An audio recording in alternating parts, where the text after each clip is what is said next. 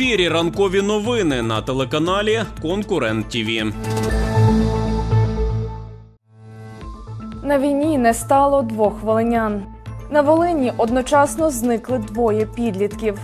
На Одещині загинув 15-річний хлопець, який хотів розібрати шахет. Слава Україні! В ефірі ранкові новини 5 липня. У студії працює Христина Дричик. Далі розповім детальніше. Розпочинаємо наш випуск із волинських новин. На жаль, трагічних. Стало відомо про смерть двох героїв. На Донеччині загинув захисник Сергій Кравчук із села Пірванче. Про це повідомляє Горохівська міська рада. Він мужньо боронив свою країну та під час артилерійського обстрілу позицій свого підрозділу біля населеного пункту Водяне Донецької області отримав поранення несумісні із життям. Також у Рожищенській громаді повідомили про загибель героя Сергія Марусюка 1977 року народження. Солдат 67-ї окремої механізованої бригади трагічно загинув 30 червня 2024 року. При відсічі навали ворога в населеному пункті Терни Краматорського району Донецької області. Редакція телеканалу Конкурент ТІВІ висловлює щирі співчуття загиблим героям. Ще одна трагічна звістка на Волині. Помер 20-річний хлопець, який потрапив під потяг у рожищі. Нагадаємо, інцидент стався 30 червня. Машиніст вантажного потяга з полученням коваль з долбунів наїхав на хлопця, який був на колії у навушниках. Тоді хлопець отримав важкі травми. Лікарі боролися за його життя, однак, на жаль, 4 липня воно обірвалося. На Волині величезне дерево впало на будинок. Як повідомили рятувальники, це сталося 3 липня у селі Малий Обзир Камінькаширського району. Власник оселі зателефонував до ДСНС і попросив про допомогу. За допомогою бензопили рятувальники розпиляли стовбур і гілля поваленої липи і прибрали з будівлі. Внаслідок надзвичайної події пошкоджений дах, перекриття й будівля, на щастя, залишилися цілими.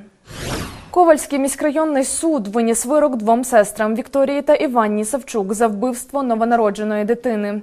Як пише Західнет, посилаючись на вирок суду, інцидент трапився 29 липня 2019 року в місті Устилух Володимирського району. Обвинувачена народила у туалеті здорову дитину, після чого умисно не перев'язала дочці пуповину та вдарила її по голові. Через декілька хвилин сестра обвинуваченої зайшла у приміщення, де виявила немовля без свідомості. Вважаючи, що новонароджена племінниця мертва, вона поклала її у килимок та поліетиленовий пакет, після чого закопала на сусідній земельній ділянці. Матір дитини свою вину заперечила і стверджувала у суді, що наміру вбивати не мала. Сестра породілі також свою вину заперечила. Двом жінкам призначили по 5 років позбавлення волі. На Волині зникли двоє підлітків. Як повідомили у поліції, неповнолітні 1 липня 2024 року близько півночі пішли з дому, що у селі Зелена Ковальського району, та до цього часу не повернулися. Де перебувають зараз, невідомо. Так розшукується каналош Йосип Йосипович 2008 року народження, а також Нагловська Мілана Радиславівна 2010 року народження.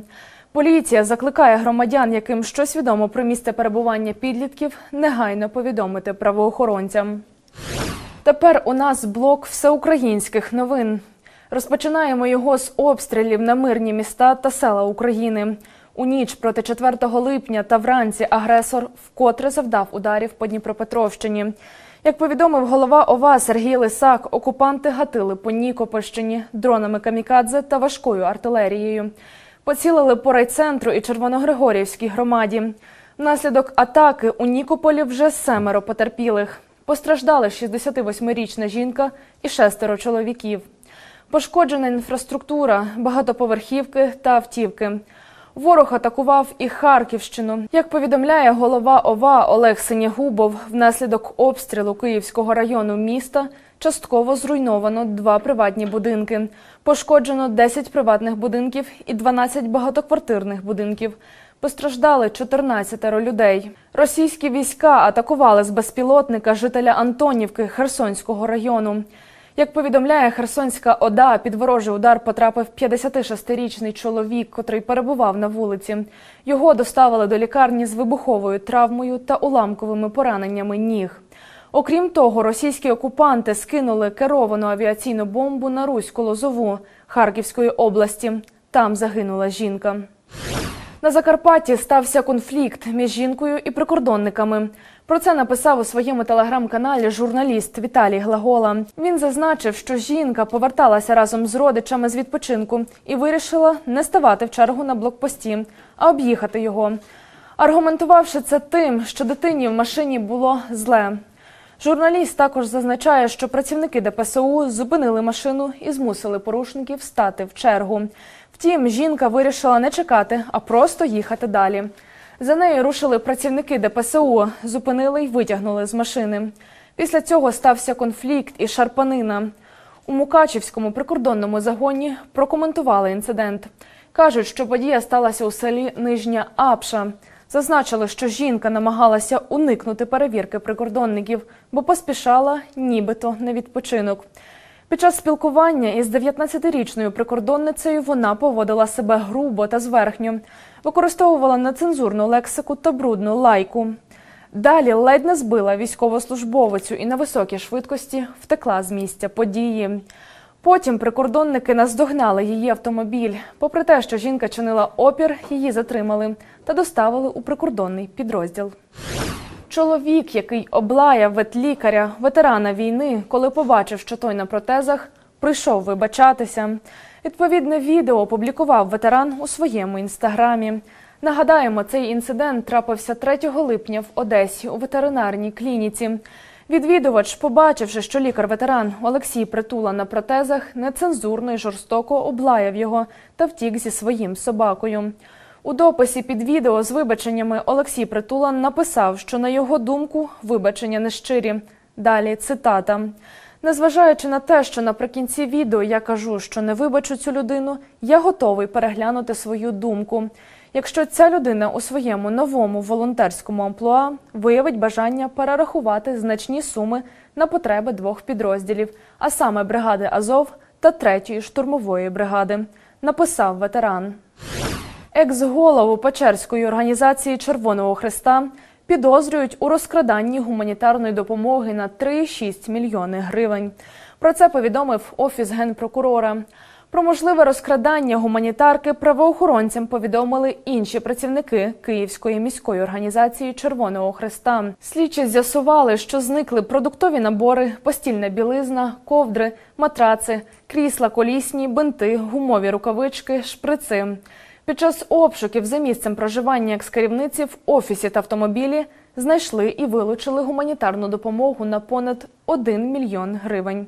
Жінці повідомили про підозру. 3 липня на Одещині загинув 15-річний хлопець, який хотів розібрати шахет. Про це повідомили в поліції Одеської області. Трагічна подія трапилася в одному із сіл Саф'янівської територіальної громади. Попередньо поліцейські встановили, що юнак приніс додому невідомий предмет, який знайшов у лісосмузі, та почав на подвір'ї розбирати його. Предмет вибухнув та спровокував пожежу, внаслідок чого підліток загинув. Вогнеборці ліквідували займання. На місці події працювали усі відповідні служби. Слідство триває. І до новин світу. Угрупування Хезбола заявило у четвер про атаки двома сотнями ракетами та безпілотниками на кілька військових баз на півночі Ізраїлю. Як передає Укрінформ, про це повідомляє ізраїльське видання. У Хезболі зазначили, що ця атака була відповіддю за вбивство старшого командира Мухаммада Насіра під час авіаудару з боку Ізраїлю. Він командував одним із трьох регіональних підрозділів Хезболи на півдні Лівану. Водночас в армії оборони Ізраїлю стверджують, що Хезбола випустила 160 ракет і 15 безпілотників по півночі країни. Ізраїльські військові заявили, що багато із дронів були збиті засобами ППО. Там додали, що внаслідок атаки виникли пожежі. Інформації про загиблих внаслідок нападу Хезболи наразі немає. Варшава і Братислава не мають наміру направляти війська в Україну, а зосереджують свою активність на допомозі України. Про це під час спільної прес-конференції 4 липня у Варшаві заявили президенти Польщі і Словаччини Анджей Дуда і Петер Пелегріні. Передає кореспондент Укрінформу. Це було би включенням країни НАТО у війну, що дуже серйозно, підкреслив Дуда. Він додав, що донині позиція Польщі на міжнародній арені була однозначною.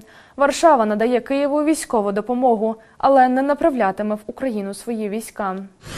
Вірменія готова підвищити відносини зі Сполученими Штатами до рівня стратегічного партнерства. Про це прем'єр-міністр Вірменії Нікол Пашинян заявив у вітальному посланні президенту Джо Байдену з нагоди Дня Незалежності США.